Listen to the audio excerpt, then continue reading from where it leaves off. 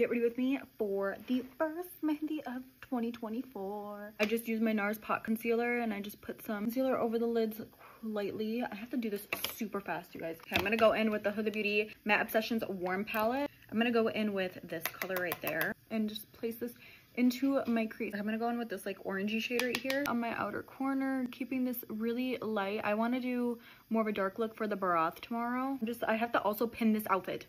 I'm scared. I'm gonna go in with this middle shade right here. Put this all over the inner half of my eyelid. I'm actually gonna go in with this Summarene's Vanity Hawks Bay Gel Liner. Put it right on the outer edge right here, just for a little extra smokiness. What we're gonna do is smoke it out. I was gonna wear a different outfit, like literally completely different. But then I realized, like literally my husband were wearing like dark blue and I was like, you know what, I wanna, I wanna match my husband so bad. I found this outfit but I didn't have time to alter it. I'm gonna go into this gorgeous Beauty Bento from Kaja. I'm gonna press this all over the inner portion of my eyelid. Going in with the Bobbi Brown Vitamin Enrich Face Base because y'all know I love this stuff. With the NARS Pot Concealer. I love this Estee Lauder Double Wear Foundation because oh, why isn't it pumping out? Your skin just looks so flawless. So we're gonna be going in with this one. I just want you to take a second to look how flawless my skin looks right now. And for cream bronzer, I brought this Milani one because it was tiny. It's also super blendable and so good. I have the shade Honey. For a second, I literally thought I forgot this brush at home. And I low-key feel like I put way too much bronzer on, but that's why we're gonna add a little bit of concealer after, duh. I'm taking my foundation brush and just blending out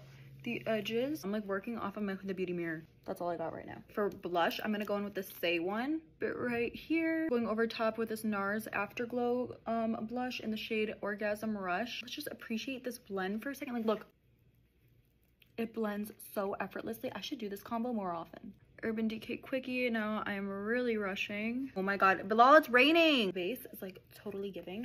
To the Beauty Bacon Snatch. Yes, yes, yes. The Sigma bronzer super pigmented, so I'm going to go in with a light hand. For blush, I absolutely adore this one from Summarene's Vanity. This is their Saffron Glow Blush. Technically, you don't need liquid underneath, but I just put it on for the hell of it. Stunning. This entire blush combination is, and I feel like this one really pulled it together too. We're going to bake the under eyes. I'm grabbing my new puff. Load this thing up because we're going to bake.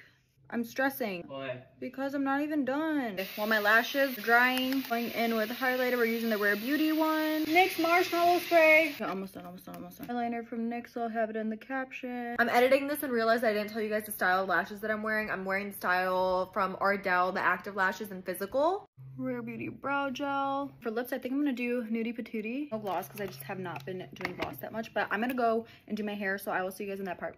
Okay, bye!